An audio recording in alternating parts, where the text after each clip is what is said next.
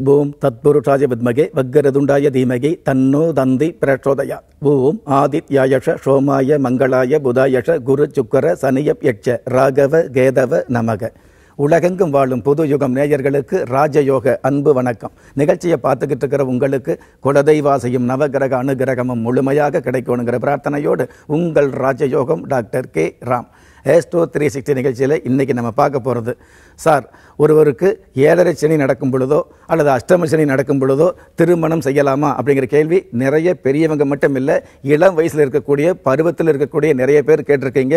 அதுலேயும் காதல் சம்மந்தப்பட்ட விஷயங்களில் ஈடுபாடு காட்டக்கூடிய நிறைய பேர் இந்த கேள்வி கேட்டிருக்கீங்க.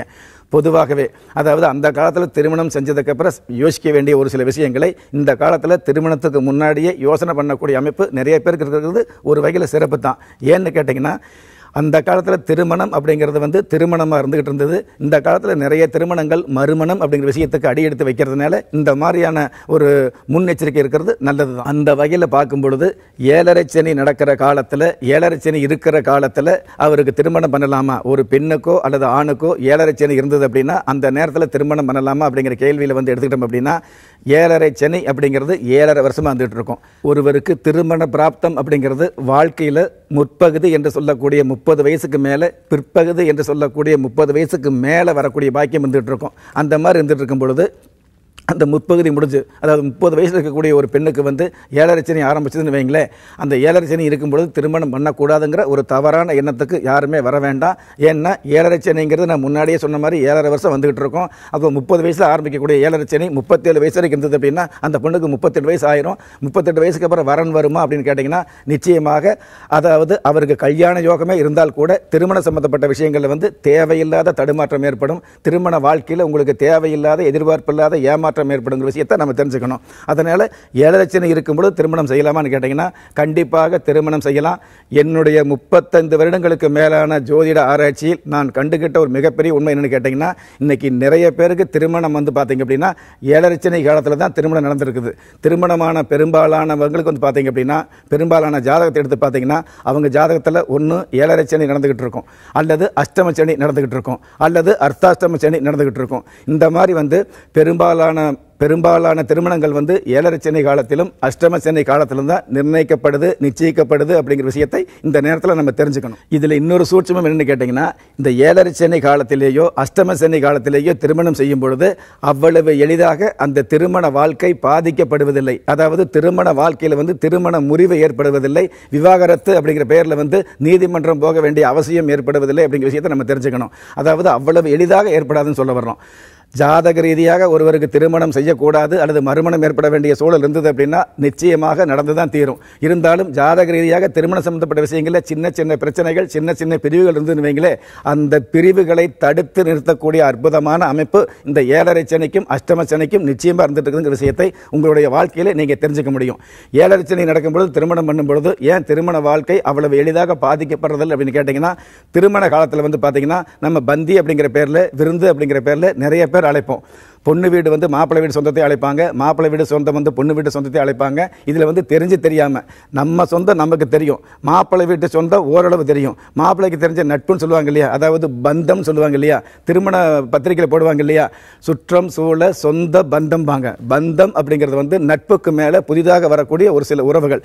அந்த மாதிரி மாப்பிள்ளை சம்மந்தப்பட்ட விஷயங்களிலேயோ மணமகள் சம்மந்தப்பட்ட விஷயங்களிலேயோ தூரத்து உறவு அல்லாமல் நட்பு அல்லாமல் நமக்கு தெரியாத நபர் கூட அந்த விருந்தில் கலந்துக்கிறாங்க. அப்படி கலந்துக்கும் பொழுது நீங்கள் செய்யக்கூடிய அந்த விருந்து மிகப்பெரிய அன்னதானமாக பாவிக்கப்படுகிறது. அந்த அன்னதானம் சம்பந்தப்பட்ட விஷயங்களை வந்து நீங்கள் ஈடுபடுத்திக்கிறதுனால அஷ்டம சனியோ ஏழரை சனியோ அவ்வளவு எளிதாக ஒருவருடைய திருமண வாழ்க்கையை பாதிக்கிறதில்லை அப்படிங்கிற விஷயத்தை வருகிற காலத்தில் நீங்கள் தெரிஞ்சுக்க முடியும். வரன் பார்க்குறோம் பொண்ணு பார்க்குறோம் பொருத்தம் பார்க்குறோம் திருத்தம் பார்க்குறோம் திருமணத்தை நிச்சயிக்கம் பண்ணுறோம் திருமணம் பண்ணுறோம் அந்த நேரத்தில் ஏழரை சனி இருக்குது அப்படின்னு யாருமே கவலைப்பட வேண்டாம். அதாவது ஏழரை சனியா அஷ்டம சனிங்கிறது எல்லோருக்குமே ஏதாவது ஒரு வகையில் வந்துகிட்டு தான் இருந்துட்டு இருக்கும். உங்களுக்கு ஏழரை சனி இல்லாமல் இருந்தால் கூட தாயாருக்கு இருக்கலாம் தாயாருக்கு இல்லாமல் இருந்தால் தகப்பனாக இருக்கலாம் தகப்பனாருக்கு இல்லாமல் இருந்தால் சகோதரருக்கு இருக்கலாம் இந்த மாதிரி யாரோ ஒருவருக்கு குடும்பத்தில் ஏழரை சனி அல்லது அஷ்டம சனி இருந்துகிட்டு தான் இருந்துகிட்டு இருக்கும். அதற்காக வரக்கூடிய நல்ல காரியங்களை நம்ம வந்து தள்ளி போடக்கூடாது அப்படிங்கிற விஷயத்தையும் நமது பெரியவங்க வந்து சொல்லி வச்சிருக்கிறாங்க. அதாவது பொதுவாகவே திருமணம் சம்பந்தப்பட்ட விஷயங்களில் வந்து அவசரம் காட்டக்கூடாதுங்கிற விஷயத்தை சொல்லி வச்ச பெரியவங்க வந்து எந்த ஒரு விஷயத்திலும் வழிய வழிய வரன் வரும்பொழுது வேண்டாம் அப்படின்னு தள்ளி வைக்கக்கூடாதுங்கிற விஷயத்தையும் நமக்கு வந்து பெரியவங்க சொல்லி வச்சிருக்காங்க. அந்த வகையில் திருமணம் சம்பந்தப்பட்ட விஷயங்களில் வந்து கண்டிப்பாக அதாவது முன்னெச்சரிக்கை அப்படிங்கிறத விட முன் ஏற்பாடு அப்படிங்கிறத விட திருமண பொருத்தம் அப்படிங்கிறத விட ஜாதக பொருத்தத்தை நிச்சயமாக கவனிக்கணும். ஒரு பெண்ணுக்கோ பையனுக்கோ திருமணம் நிச்சயிக்கப்படுவதற்கு முன்பாகவே இந்த ஜாதக பொருத்தம் அப்படிங்கிற விஷயத்தை வந்து நீங்கள் கண்டிப்பாக பார்க்கணும். ஜாதக ஜாதகத்தை பொறுத்த நிச்சயமாக பார்த்தா தான் நீங்கள் பண்ணக்கூடிய நிச்சயம் நிச்சயமாக இருக்குங்கிற விஷயத்தையும் இந்த நேரத்தில் உங்களுக்கு பணிவாக சொல்ல கடமைப்பட்டிருக்கிறேன்.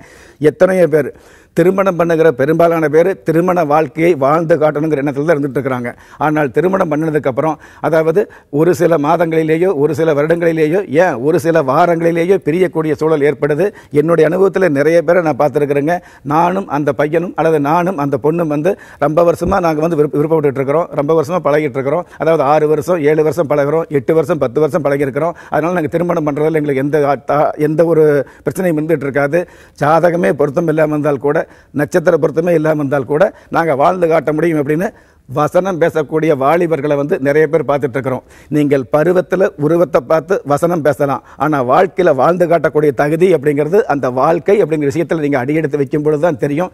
எத்தனையோ பேர் ஏழு வருஷம் எட்டு மாதம் பழக்கம் நட்பு காதல் அப்படிங்கிற ரீதியில் உள்ளவங்க கூட திருமணம் ஆனதுக்கப்புறம் ஏழு எட்டு மாதம் கூட வாழ முடியாத ஒரு சூழல் ஏற்பட்டுருது. எதனால் கேட்டிங்கன்னா நீங்கள் பழக்கம் நட்பு காதல் அப்படிங்கிற போர்வையில் வந்து எத்தனை வருஷமாக இருந்துகிட்டு இருக்கலாம் ஆனால் அதே ஜாதகத்தில் திருமண வாழ்க்கை பாதிக்குது இல்லற வாழ்க்கை பாதிக்குது குடும்ப வாழ்க்கை பாதிக்குது அப்படின்னு கேட்டிங்கன்னா அந்த ஜாதகத்தில் வந்து இந்த பழக்கமாக இருக்கிறவங்க வந்து மாங்கல்யம் முயற்சின்னு வைங்களே அந்த மணப்பெண்ணுடைய கழுத்தில் மாங்கல்யம் முயற்சி அப்படின்னா அதற்கடுத்து மறு மாதமே அதாவது இன்னும் இருபத்தி ஏழு நாட்களுக்குள்ளாகவே பிரச்சனை ஆரம்பிச்சிருது. ஒரு சில பேருக்கு திருமணம் ஆன நாளே பிரச்சனை ஆரம்பிச்சிருது.